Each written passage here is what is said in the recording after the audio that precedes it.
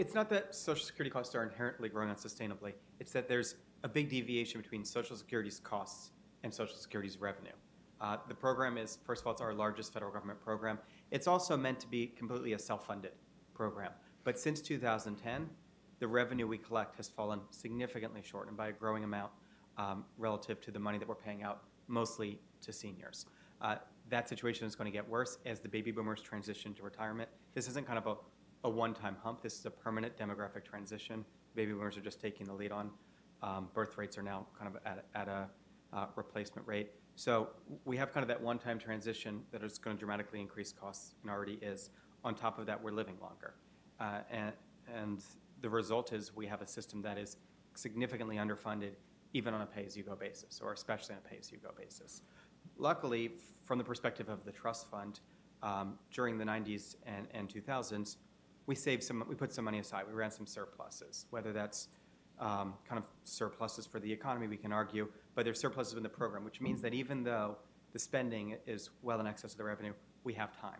But that time is starting to run short. The, the Social Security trustees say we have 17 years until the trust fund runs out. Uh, shameless promotion of my organization.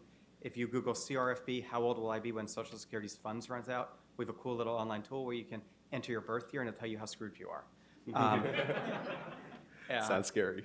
if you're 50 today, by the time you reach the normal retirement age, the Social Security Trust Fund will have run out. If you are 62, the youngest retiree, by the time you're 80. In other words, people in the program today are still going to be in the program when the Social Security Trust Fund runs out. My daughter was born last year. It's going to run out when she's 17 years old. Um, she stands to lose, assuming she's average wages in lifetime, uh, $250,000, right? Because when the fund runs out, the law says we have to cut benefits down to revenue. Um, now, is that going to happen? Are we going to cut benefits by 23, 24%?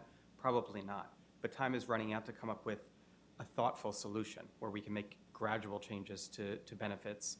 Um, if you think about it, we always don't want to touch current beneficiaries. We don't want to touch people over age 55. Um, that means the window is short if we want to do any of this on the benefit side. Maybe we have five years or so. Um, and on the revenue side, um, certainly you can solve a, a portion of the problem by raising that tax cap or even raising the rate. Um, but even if you eliminate the tax cap, doesn't solve the issue. Um, and you would need a substantial middle class tax increase if you want to solve this all on the tax side. So, really, um, if we want to make gradual changes to the program that are revenue or benefits or both, uh, we need to start 10 years ago.